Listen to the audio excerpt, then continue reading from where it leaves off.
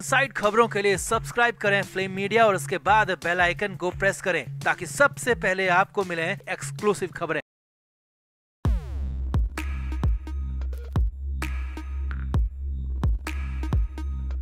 नवाब मलिक को एक बार फिर से जेल भेजा गया है। चौदह दिन के लिए उनकी न्यायिक हिरासत बढ़ा दी गई है। उन्हें एक बार फिर से ऑर्थर रोड जेल के अंदर ही रहना होगा। हालाँकि इस बार नवाब मलिक को कुछ राहत ज़रूर मिली है। या कहें कि जेल के अंदर कुछ सुविधाएँ मिल रही है और इसीलिए थोड़ी सी राहत कही जा सकती है। लेकिन इधर जब सोमवार को नवाब मलिक को राहत मिली, उनकी सुनवाई के बाद उन्हें कोर्ट से जेल वापस लाया गया तो देर शाम ज़बरदस्त तमाशा वहाँ जेल के अंदर हो गया। नवाब मलिक नाराज़ हो गए, उखड़ गए। जेलर के लिए बड़ी मुश्किल खड़ी हो गई। जिसके बाद मलिक से सिर्फ़ एक मोहलत मांगी गई और फिर बड़ा फैसला ले लिया गया। तो क्या हुआ? देर शाम मलिक के जेल पहुँचने पर फिर अगले दिन, यानी कि मंगलवार की सुबह क्या हुआ? सब कुछ आपको बताते हैं। आप इस वीडियो को शेयर करें और कमेंट करके अपनी राय ज़रूर दें कि क्या नवाब मलिक को मिली राहत ठीक है या फिर मलिक को फाइनली पिछले दरवाजे से वीवीआईपी ट्रीटमेंट मिलने लगा है। आप भी कमेंट ज़रूर करें, वीडियो को शेयर भी करें। तो नवाब मलिक को लेकर सोमवार को सुनवाई हुई थी, लेकिन ये सुनवाई ज़्यादा देर नहीं चली। कोर्ट ने तुरंत ही पहले फैसला दिया कि मलिक की जेल 14 दिन के लिए बढ़ाई जाती है और फिर इसके बाद मलिक को घर का खाना, बेड, गद्दा और कुर्सी रखने की मंजूरी भी दे दी गई और 4 अप्रैल को मामले की अगली सुनवाई तय होगी। यानी कि अब 4 अप्रैल को मलिक की कोर्ट में पेशी होगी, आगे का फैसला भी उसी दिन होगा। अब कोर्ट से सुनवाई के बाद नवाब मलिक को फिर से ऑर्थो रोड जेल लाया गया। जेल लाने के बाद नवाब मलिक का रूटीन मेडिकल चेकअप किया गया। हालाँकि ये सिर्फ़ फॉर्मेलिटी ही होती है, क्योंकि ये तय करना होता है, ये देखना होता है कि कोई कैदी बाहर से अगर आ रहा है तो वो ठीक है या नहीं, या फिर अगर कोई दिक्कत है तो क्या दिक्कत है, किस तरह की दिक्कत है, इसे देखने के लिए ही मेडिकल चेकअप किया जाता है। अब चेकअप के बाद नवाब मलिक के वापस आने की रजिस्टर में एंट्री की गई और नवाब मलिक को वापस से उनके बैरक में सेल में पहुँचाया गया और मलिक भी सेल में जाकर बैठ गए। अब जेल सूत्रों के मुताबिक इसके बाद मलिक का जेस्चर ऐसा था जैसे कि वो किसी बात का, किसी चीज़ का इंतज़ार कर रहे हों। वो बेचैन थे बार बार बाहर की तरफ़ देख रहे थे, नवाब मलिक का इंतज़ार लंबा होता जा रहा था, क्योंकि उनकी बैरक के आसपास कोई भी हलचल हो नहीं रही थी, लेकिन मलिक लगातार एक टक बाहर ही देखे हुए थे।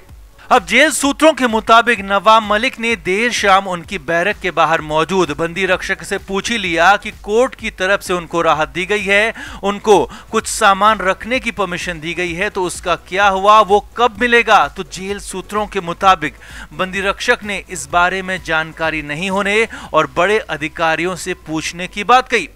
अब जेल सूत्रों के मुताबिक जेल के एक बड़े अधिकारी कुछ देर बाद नवाब मलिक के पास, यानी कि उनकी बैरक के पास पहुँचे और नवाब मलिक ने उनसे भी पूछ लिया कि कोर्ट ने उन्हें बेड कुर्सी के साथ ही घर के खाने की परमिशन भी दी है। तो उसका क्या हुआ? उस आदेश का क्या हुआ?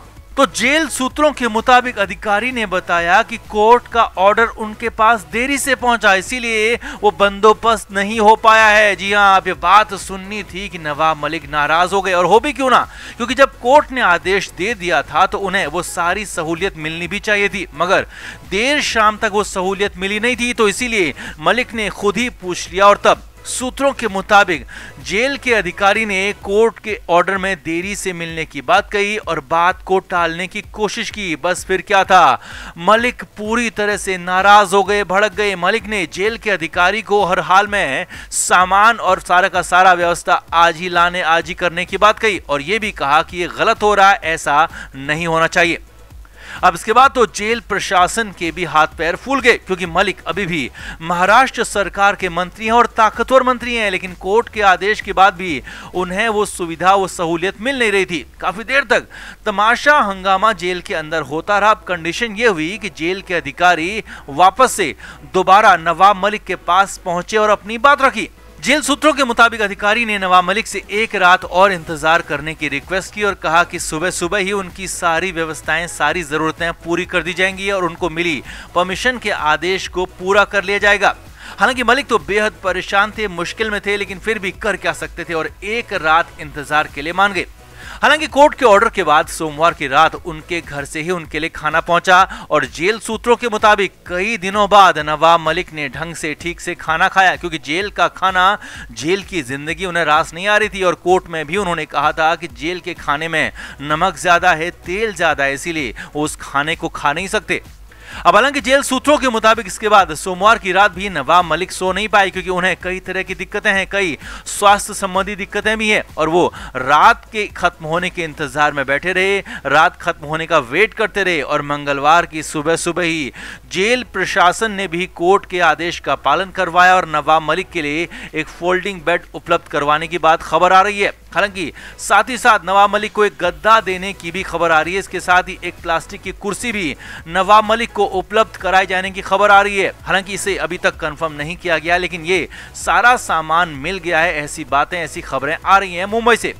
और नवाब मलिक ने इसके बाद हो सकता है कुछ राहत की सांस भी लियो लेकिन मुश्किलें उनकी अभी भी कम नहीं हुई हैं, क्योंकि कोर्ट ने साफ़ कहा है कि उनको दी गई सारी की सारी सुविधाएँ शर्तों के अधीन है। शर्तें तोड़ी तो राहत का आदेश वहीं पर खत्म हो जाएगा। अब जो भी हो, नवाब मलिक अपनी सुविधाओं को लेकर नाराज़ हो गए, बिगड़ गए, भड़क गए, जिसके बाद फाइनली मंगलवार को नवाब मलिक को कोर्ट की तरफ़ से आदेशित किया गया सामान मिलने की खबर आ रही है। तो आपका नवाब मलिक के गुस्से पर, मलिक की जेल की ज़िंदगी पर क्या कहना है, कमेंट करके आप भी ज़रूर बताएँ। वीडियो को शेयर भी करें।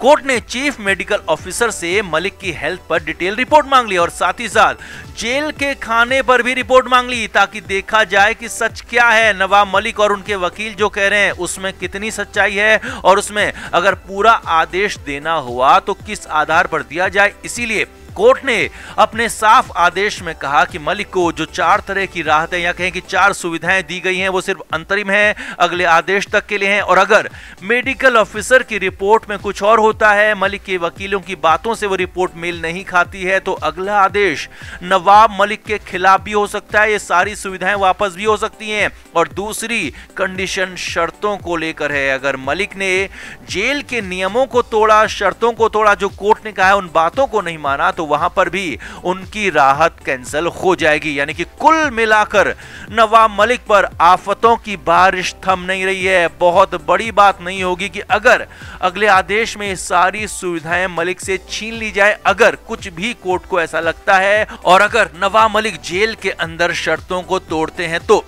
अब यहाँ पर कुल मिलाकर ये कहा जा सकता है कि नवाब मलिक को चौदह दिन की जेल मिली, ये बड़ी आफत उनके लिए है। लगातार वो जेल में रह रहे हैं। अब पहले बारह से तेरह दिन वो ईडी की हिरासत में रहे, उसके बाद चौदह दिन जेल के अंदर उनको हो चुके हैं। चौदह दिन और जेल उनको भेज दिया गया है, लेकिन इसी बीच में चार राहत भी उनको मिली है। अब इन राहतों से कुछ राहत, कुछ रिलीफ उनको हो सकता है, लेकिन पूरी तरह से राहत अभी नहीं मिली है। पूरी तरह से उन्हें बाहर छोड़ने या फिर रिहा करने का आदेश नहीं आया है।